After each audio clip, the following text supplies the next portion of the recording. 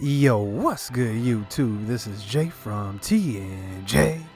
And looking at the recruits that we have from last week's visit, Caden Joseph commits to our team. So, our top prospect, I'd say he's probably our top prospect, mainly because we need a quarterback and because we need somebody in the future. I mean, we don't have anybody right now. We do have Albert Vick. I actually want to pull up Albert Albert Vick next. We'll go to him next. But it's going to be between Albert Vick and Caden Joseph, it looks like, for next year. And we also have Patrick Williams on the board as well. We don't know if we're going to get him, though, because it looks like this is probably going to go into the offseason. And I don't know if I want to commit so many points after having two guys ready to start right now. I don't know if I'm going to put a lot of points on him in the offseason but it's also a good sign as well. Look at the visit Raphael Wheeler had. So we actually jump up 1300 and steal the lead away from Washington. The only thing I'm worried about is that I do hope that this goes into the offseason as well. I think I'll put the I'll close be close to putting the house on him. I'm not sure exactly. But I'm gonna put a lot of points on him in the offseason if it does go into the offseason because look, I mean, we need a tackle. I mean, we that's our weak point at the at this point in this dynasty. We don't have good offensive linemen, and it's kind of hindered Alex Brown a little bit. You see his numbers are down this season, but this would instantly help us. 87 pass block, 76 run block, 83 impact block, but we did steal a lead. So hopefully they do have a visit in week 14. He has a week visit 14 week 14 visit with Washington, but I mean, I hope that we can steal it away, at least carry it into the offseason, but we'll see. So here's Albert Vick. This was the guy I was talking about. We did redshirt him last year. We got him, recruited him last year. 79 speeds, 82 excel, but he has 81 throw power and 73 accuracy. So even after training, Caden Joseph is still going to be more accurate. He's going to have 86 accuracy, but throw power is definitely going to be Albert Vick's strong suit over Caden Joseph and his speed, obviously. So he's, he's mobile and he's taller, 6'7 to 5'11. I mean, that's such a big height difference. That's a whole 8 inches. I don't know if Caden Joseph is going to be able to make the throws because a lot of his balls might get tipped at the line. We'll see. That happens a lot with Brad Berry, actually. And how tall is Brad Berry? Brad Berry's 5'11 too. So we can see now like how it's going to be if we do have Caden Joseph at quarterback. And Ashton Cohen is actually ready to go in this game, but I don't think I'm going to play him, mainly because I want to keep him healthy. And Brad Berry's actually been playing really well the last couple games. Remember, two games ago, he had that incredible game. So if we look at the injury report, I think Ashton Cohen's ready. He's okay, so he's questionable for this game. I'm not gonna play him at all. I think I'm gonna have him back for next week's game versus uh, Oklahoma. But if you're looking at this Houston game, I mean, that you know they're gonna have a top offense. But surprisingly, look, they have a good rush offense, and they're usually in the middle of the pack in rush offense. But it looks like they're in the top third in the NCAA. They have uh, the number 29 rush offense. But Kirk Herbstreit's coming with us because mainly probably because we're at home. And look at Houston's conference record; they're one and five. And I mean, I don't know. Let's just look at who they've been playing. So they've lost a couple of high-scoring games. Iowa State they lost to, and Iowa State. Look at Iowa State; they are six and three. They are definitely probably the surprise of our conference so far at six and three. Uh, they lost to Baylor. That was a bad loss, three and six. So I mean, we're gonna have our work cut out mainly because we our defense has kind of had a problem with stopping offenses. Last week, I mean, Kansas ran all over us, but it looks like they are missing a quarterback. Uh, King, it looks like. So let's look at their leaders here. So King is going to be out for four weeks. So he's their leading uh, passer. So let's just look at who is going to be their starter now.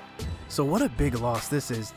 Derek King, look at this guy. He has 95 acceleration, 85 speed at quarterback, 89 awareness, I mean, look at this guy. This guy is a stud. 82 throw power, but 87 accuracy. So I can't lie. I'm kind of glad he's out. So they're going to have to go with the sophomore, Ty Smith. And this guy can run as well. He's got 85 speed, 81 excel.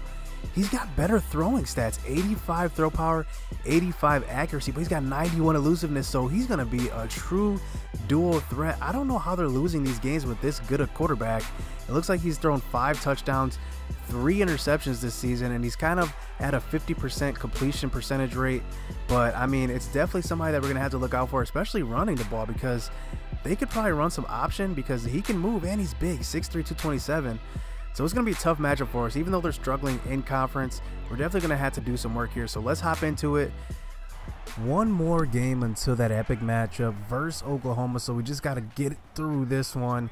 And this is a familiar foe in Houston. Remember, they were in the same conference as last season. So they're going to be looking for revenge. Because remember, last season, we straight destroyed them. So they're definitely going to be looking to get some revenge. So here we go. Starting out the first quarter, Carr is going to get the ball this time on a pass for a nice 25 yard reception. And Smith, gotcha, we know bitch. he can run the ball, but this time we send the blitz on the third down. Paul Miller gets around the corner with that 95 speed, and he comes in from the safety position getting the sack. So starting on my next drive, Jimmy Ward gets the catch out of the backfield. But facing a first and 10, Alex Brown gets the ball up the middle, but this one's going to be loose on the ground. And Carper is going to pick this one up and run in for the touchdown. And man, disaster strikes already. Alex Brown coughs it up. And it, this is going to be a 7 0 lead for Houston early in this game off the turnover. And here they're showing more defense, this time tripping up Bradberry on that one. So facing a third and nine finding Kevin Oliver over the middle, but he fumbles too, and we cough up the ball and two turnovers early, but we do get the play reverse. We challenge that one, so luckily we keep this drive alive. So facing a second and six this time, Christopher Rubright getting the reception that time. So facing another second and 10 later on this drive. This time Herman Rogers is going to get the catch over the middle, taking a big hit on that one. So facing a first and 10 inside the 30 yard line, we're moving the ball pretty well, but Bradberry overthrows a receiver. Probably a bad read on that one. And the defender makes a nice play coming off of the receiver, picking up the slant route. And that's going to be two turnovers early on in this game for this Marquette offense. But we got to stop this offense. I mean, Smith, you know he can run, we know he can pass. But facing a third and 12, getting it to Carr on the screen pass, and this time Lewis Parker gets to him. So they decide to kick a field goal, and that is probably the worst field goal kick I've ever seen. That was wide, wide, wide, wide, wide right. So now we take back over a minute and a half left in this first quarter, and we just need to you know, keep the ball in our hands because we're turning the ball over a little bit too much. So we're giving the ball to Alex Brown, and he coughs it up one more time for the second time this quarter. Second time this quarter, he's coughed the ball up, and that is gonna be another turnover for this Houston defense. Bruh. And once again, they come back out, and Josh Dunbar just gets straight armed on that one. So now facing a third and five, now inside of our territory. Smith is going to roll out and get the first down. So now they're inside the 10 yard line on a first and goal. Smith is going to roll out to the left, but this time he's gotcha, going to get swallowed up. This time by Dylan Mack on the outside. So facing a third and goal near the goal line, giving it to Carr this time. Carr almost breaks through, but the defense is there, led by LaRue Wiley, and they settle for the field goal. But look at this on the last drive. Bradberry sprained his ankle, and look, he's out two weeks. So that means that Joshua Rich gets his opportunity to get in the game. Remember, we tried this last year. We had Joshua Rich, not last year, but earlier in the season.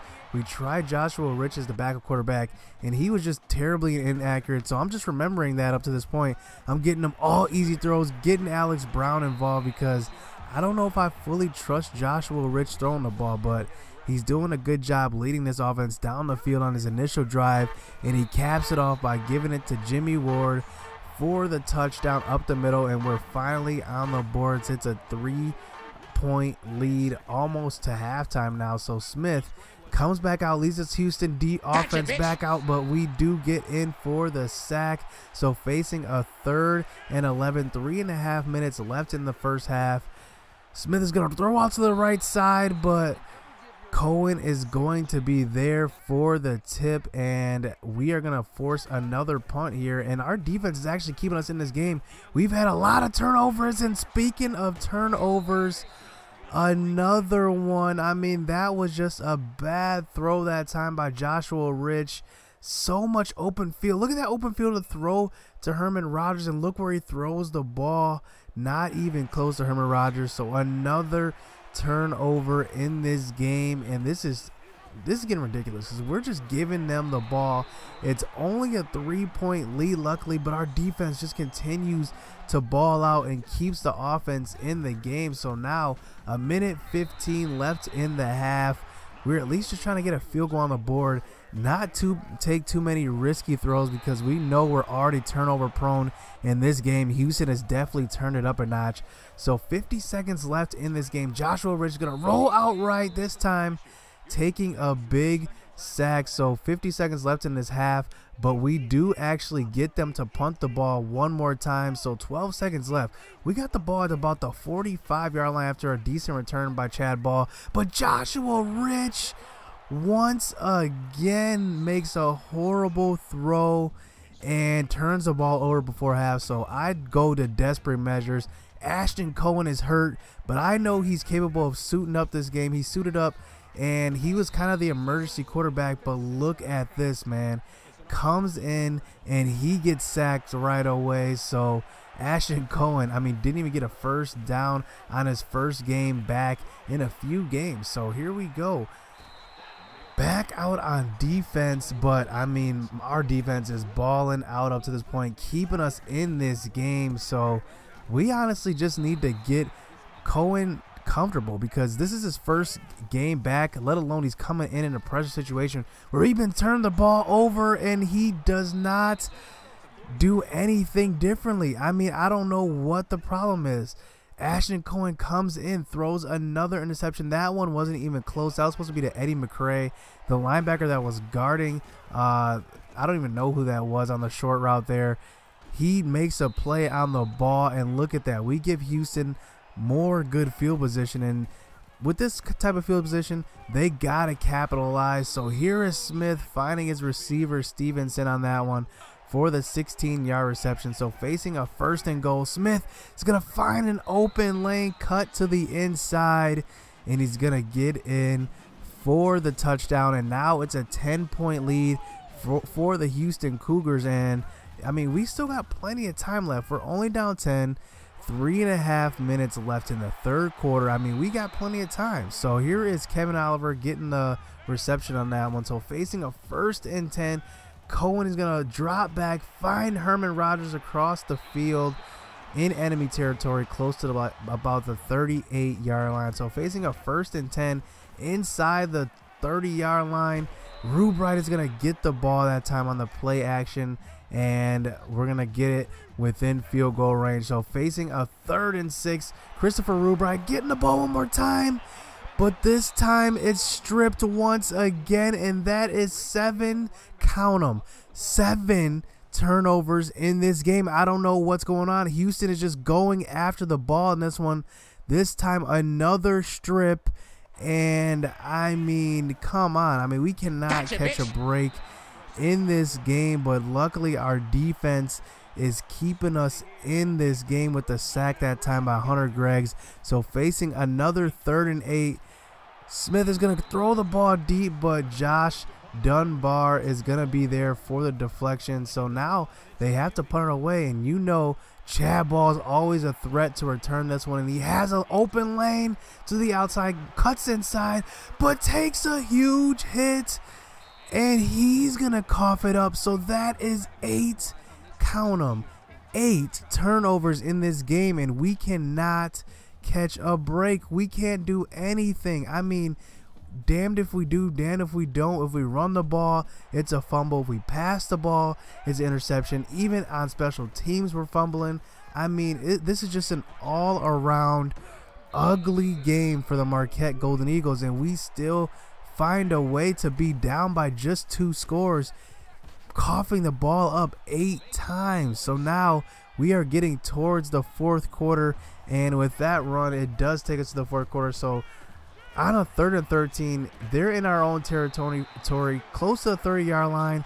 We do stop Carr on the screen pass, but they do kick the long field goal, but this one is going to be through.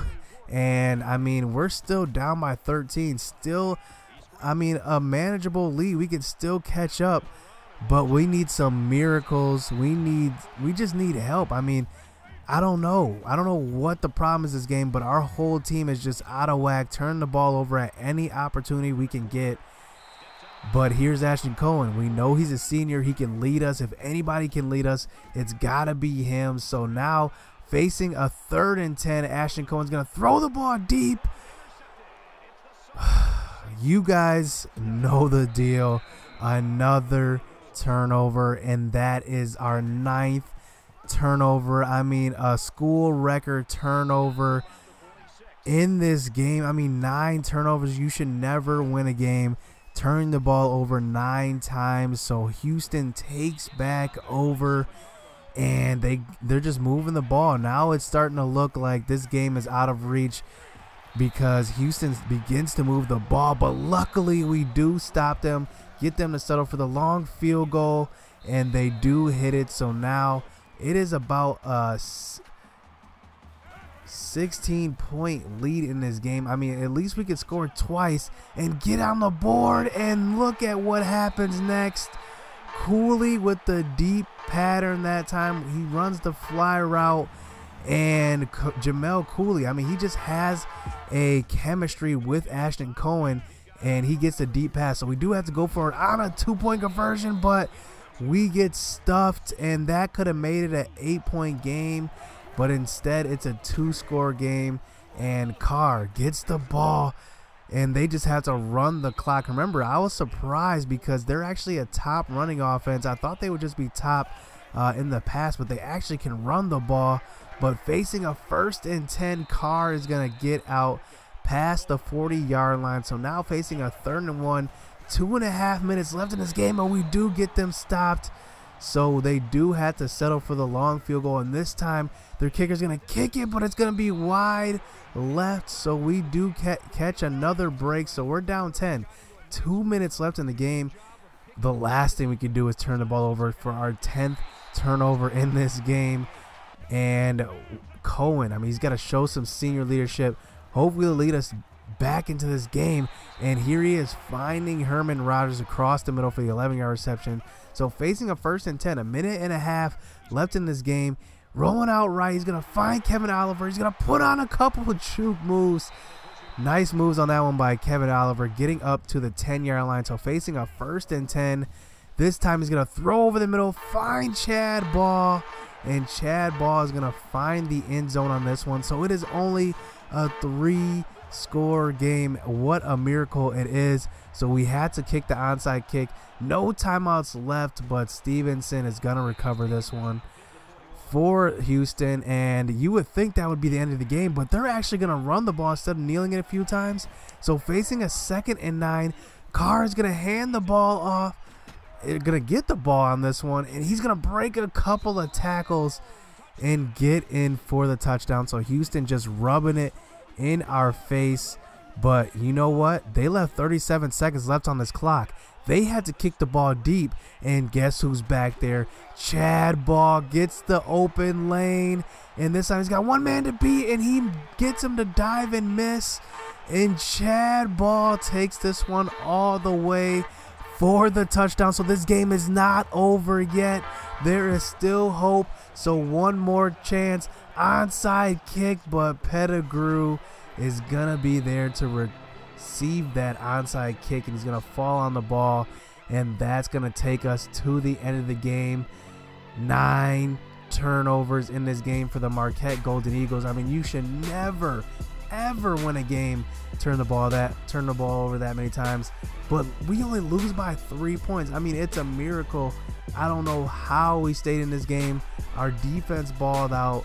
But i mean those fumbles i mean the interceptions i can live with because sometimes you just make a bad throw.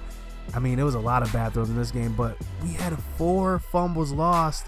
A big one coming on that chad ball return. I mean that was a big return that we had some momentum he fumbles.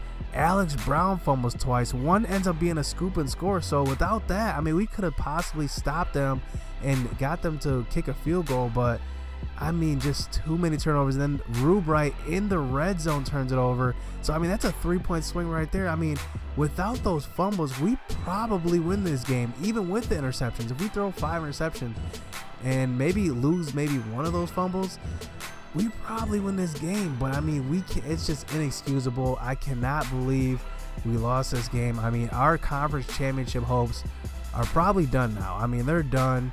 So I mean, no, I mean. The only good thing about this game is that we play good defense. I mean, that's the only good thing that came out this game. So hit subscribe, hit that like button. I mean, we got Oklahoma coming up next. I mean, the only thing we can really do at this point is ruin their perfect season. So I guess just stay tuned. We'll bounce back. Oklahoma big game next week. So let's go.